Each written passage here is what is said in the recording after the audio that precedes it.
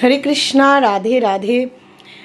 গতকাল ছিল দেওরের জন্মদিন, তো আমার দেওরের জন্য আমরা সবাই মিলে, পরিবার মিলে, ওকে সকাল থেকে কেউ কোনো হ্যাপি বার্থডে কোনো উইশ করিনি, ওর বন্ধুরাও করেনি। তো একটা সারপ্রাইজ আমরা ওর জন্য রেখেছিলাম।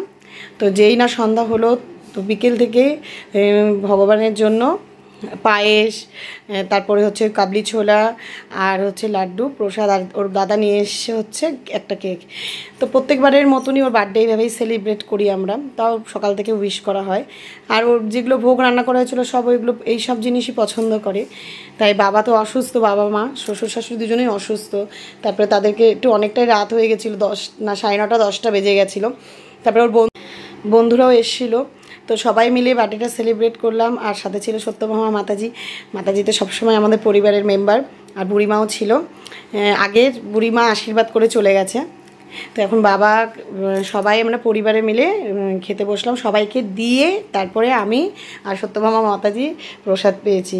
তো এইভাবে আমরা ছোট ছোট্টভাবে যেরকম ভগবানের সেবা করি, সেরকম পরিবারকে নিয়েও আমরা সুন্দরভাবে আছি। ভগবানের কৃপায়। হরি বল, হরে কৃষ্ণা। ভাই, সুস্থ থেকো, ভালো থেকো। ভগবানের কাছে কামনা করি।